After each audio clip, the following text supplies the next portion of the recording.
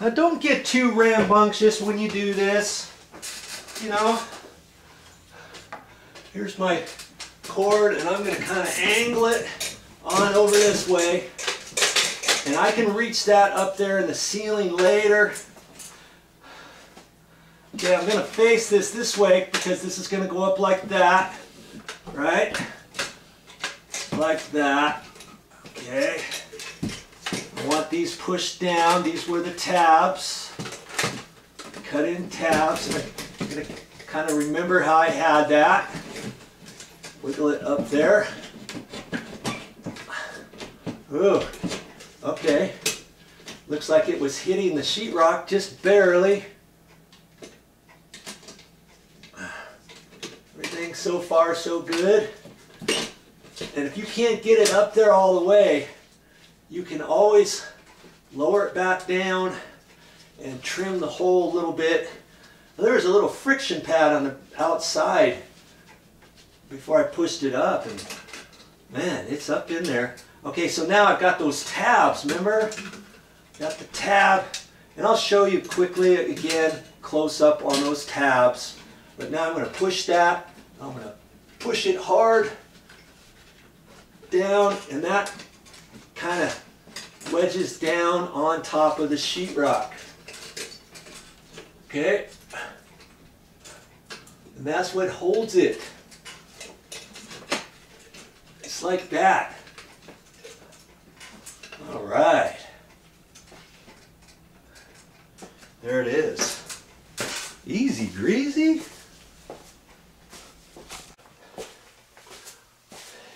And whenever I come across something that's not to my satisfaction, I'm going to show you. Now those tabs, there's a definite little notch in position when you want to push that. You push these tabs in all the way and they weren't snapping and all I can think of is each ceiling, you know, some of your ceilings are designed for half inch, some are 5 eighths, but either way, this one's not snapping all the way. I'm not happy with it. So I'm going to kind of finagle it down here. Back out of the hole without messing it up. Okay. I can re-look at that. I know that's straight right there. Okay, so when these tabs come down and I push it on the inside, there's a definite little groove it fits in and then that can't push back up. If you don't get it on that groove, you're pushing, and if it doesn't snap, this could push right back up when you got your trim. It could have a tendency to loosen up later on, and all of a sudden your, your nice trim pieces aren't up tight to the ceiling. So you take this, you just bend it out just ever so little, okay? On whichever ones are not snapping. Bend it out just a little bit. Okay. Now I can try it again. Just push these in like that. I'm going to look at that. I wanted that fitting straight that way because the joists are going this way. I don't want to have this tweak too much because I want to get to the, if anybody has to get to the wires later, they can. Okay. I'm going to push that back up in the hole that. Wedge it, wedge it back up there. Let's see here. I guess you got to hold your mouth just right when you're doing that. This is just a socket. I'll have to figure out how to snap that up in there. There's a there'll be a little bracket that I have to push that in or such. And I think it's all the way up at the top.